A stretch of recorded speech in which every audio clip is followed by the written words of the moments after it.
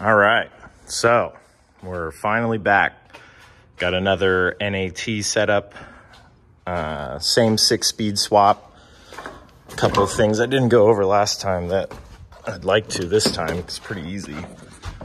W202 clutch pedal.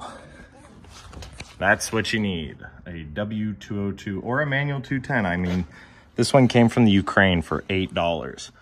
We got a dual uh, caliper and a hydro this time. Same six speed, same shifter. That's an eBay $44 shifter that I modified with the plate to fit. Probably make a shifter for these things soon. Same lift kit, same uh, Drive Shaft Pro drive shaft, Drift HQ adapter on the ZF Trans, and uh, Benz Force adapter in the back on the diff. Um, whole set HE341 turbo this time. Uh, HE341 and HE351, HX35, HY35W, they're all, here, check them out. Here's another one. They are all, this one's cool. Very similar turbos. Very, very similar. They have different back housings, different front housings, different wheels, but this is an HE341 seven blade with the 9cm back housing.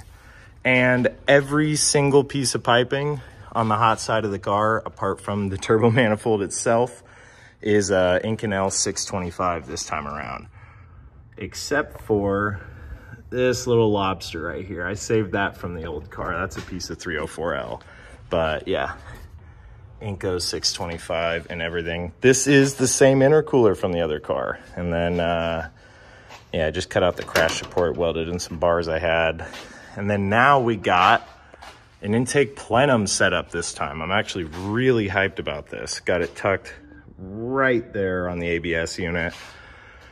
Realistically, I'll probably make it a three inch, um, like three inch tube base for the plenum next time, just to kind of fit it better. I did this one out of four inch you know, I thought four inch would look kind of good. That's what I'd used on a JZ before. But either way, three inch because I mean, the intercooler piping is going to be two and a half anyways. So, and this time around, we're rocking a stock radiator and a stock radiator fan. But yeah, check it out. Lift this thing up, show you guys the underside. Same lift kit as before. Uh, two inch extended control arms, a Koni adjustable uh, shock off of the rear of a Fox Body Mustang, and an Eibach uh, spring that's a three inch inner diameter coilover spring. That size spring fits, you know, all the Benzes that have that same coil bucket, which is uh, W202 210. I think 140 has the same coil bucket, but might be wrong on that one little three inch exhaust, the ZF Trans with the kangaroo adapter, and the best part right here. These guys are the business. This thing is the best thing I ever did to the car. I really didn't think lightening the driveline would make that big of a difference.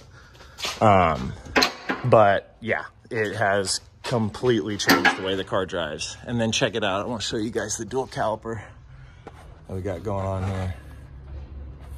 I made some uh, some plates here to fit up a second set of stock calipers, and then that runs into the hydro.